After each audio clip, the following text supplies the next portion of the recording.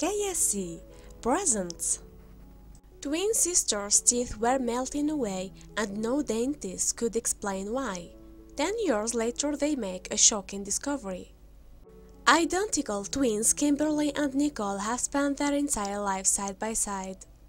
Things started to drastically change, however, when Nicole began to have some very serious dental problems. It was 10 years ago when Nicole walked into the dentist's office complaining of pain in her mouth. When the dentist took a look inside, he was absolutely shocked by what he saw. As Nicole sat in the dentist's chair, the dentist began to look over her teeth.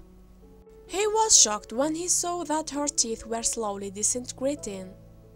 They were filled with holes and a ton of other problems. Before that day, Nicole had never even had a cavity. However, the dentist figured that he would be able to fix the problem by just filling in the holes. So, the dentist began to get working on fixing Nicole's smile. However, the problem would just continue to get worse as the years went by. Throughout the next 10 years, Nicole's smile would begin to slowly melt away. Soon enough, she began to stop smiling in photos because of how bad her teeth looked.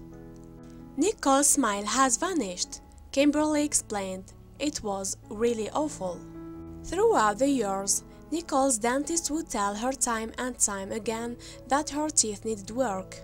Her mouth was filled with teeth that had exposed nerves, root canals, chipped teeth, and some of her teeth were missing completely. However, the dentist had no idea what the root of the problem was.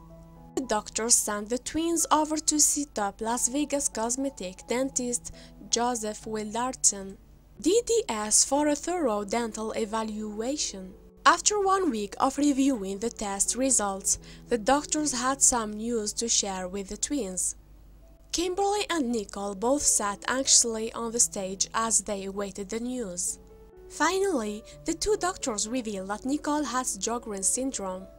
The two women stared at the doctors in confusion, as neither one of them had heard of this syndrome before.